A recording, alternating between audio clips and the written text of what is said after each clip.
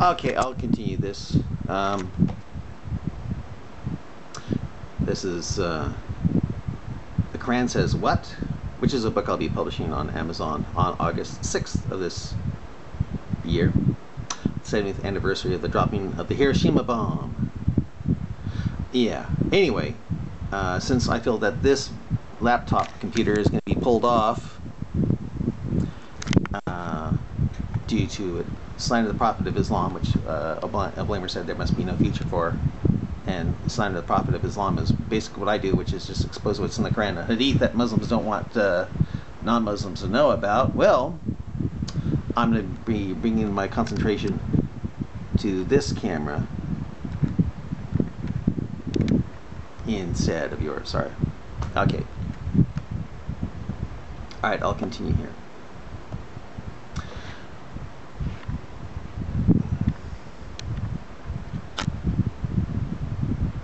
Okay.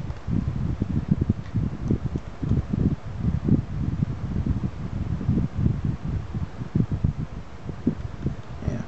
I bring up Quran. Uh, he says this, the Muslim says, if this book was written so long after Yeshua's ascension to heaven, isn't there the possibility that the real meaning of the teachings of Yeshua were lost?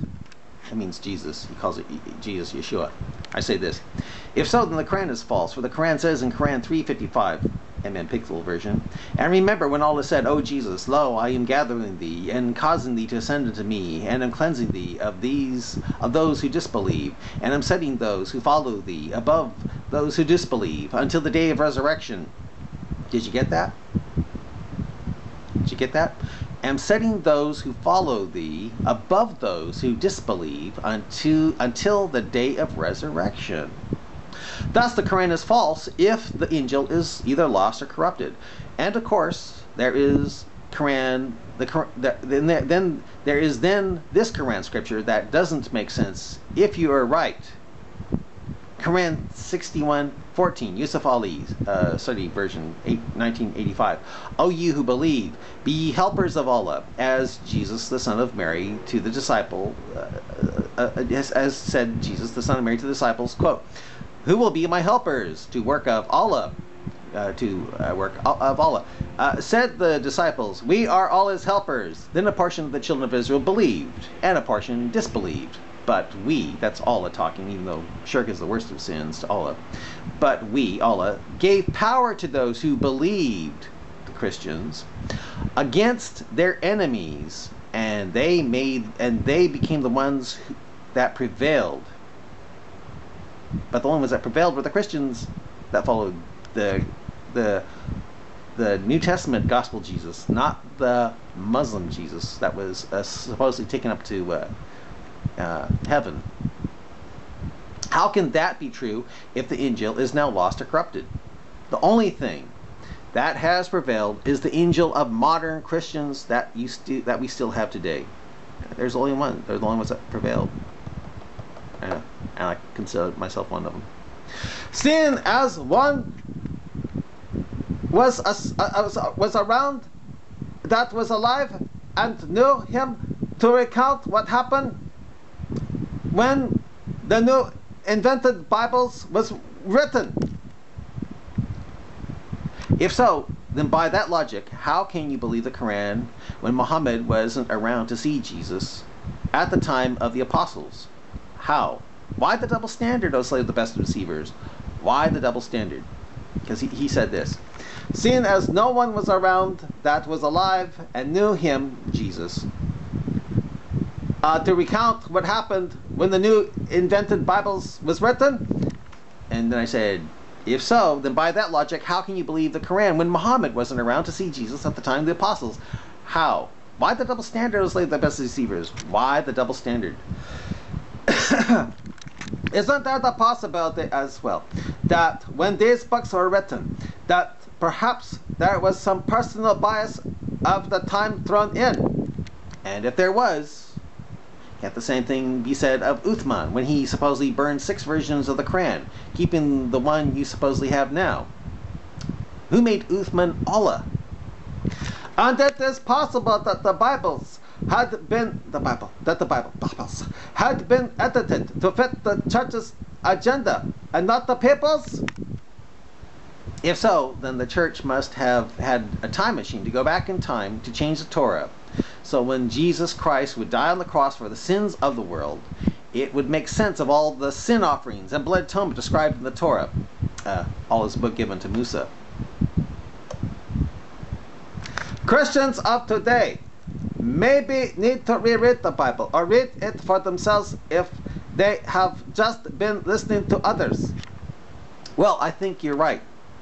I think you're right. As a matter of fact, I think you, O Muslim, should obey Quran 1094 and come to me for my reading, not reciting, but my reading the before scriptures Bible, so you will accept what the Lamb of God did on the cross, confirming the Torah with the sin offerings of innocent animals being killed for blood atonement and escape hell that way. And that way you don't have to have your patootie in the air on a prayer rug five times a day and snort uh, water up your nose trying to get a Satan out of it and stuff like that.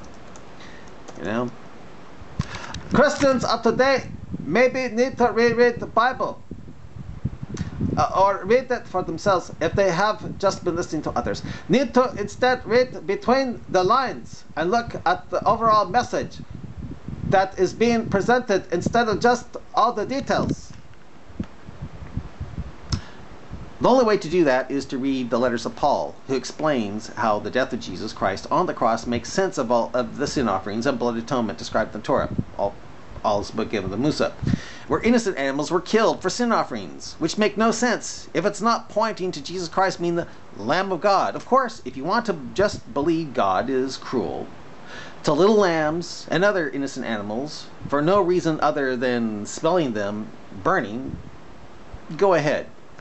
Majority of professing Christians today are not true Christians. Don't tell me. A true Christian has his or her patootie in the air five times a day on a prayer rug, right? Well, if so, where is the where in the before scriptures Bible does it tell true Christians to be in such a gay receiver's position?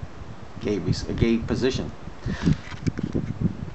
They do not teach what Yeshua taught, believe what Yeshua believed, or do what Yeshua did. If not, then Quran 3:55 and Quran 61:14 are lies about Jesus and his followers being now uh, prevailing and being uppermost the day of resurrection.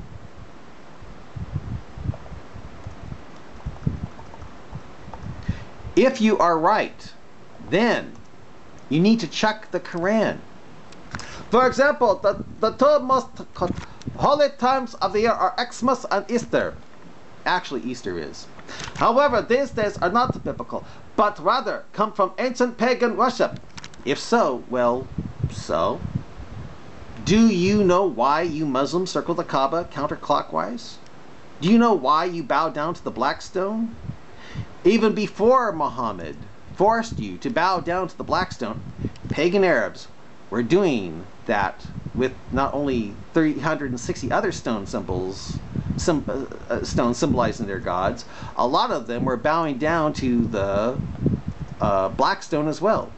So if you think Christianity came out of paganism and is therefore false, well, hey, Islam came out of paganism as well. This is a fact that even leaders and professing Christian churches will admit. It could seem that way.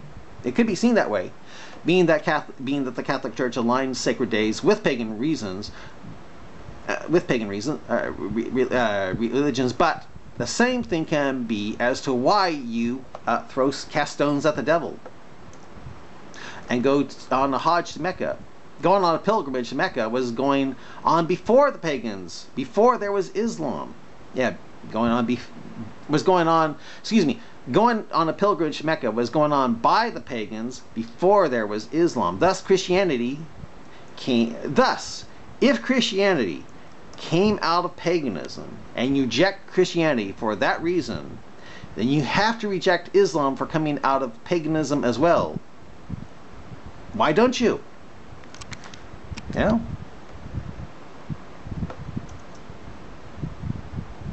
Yeah.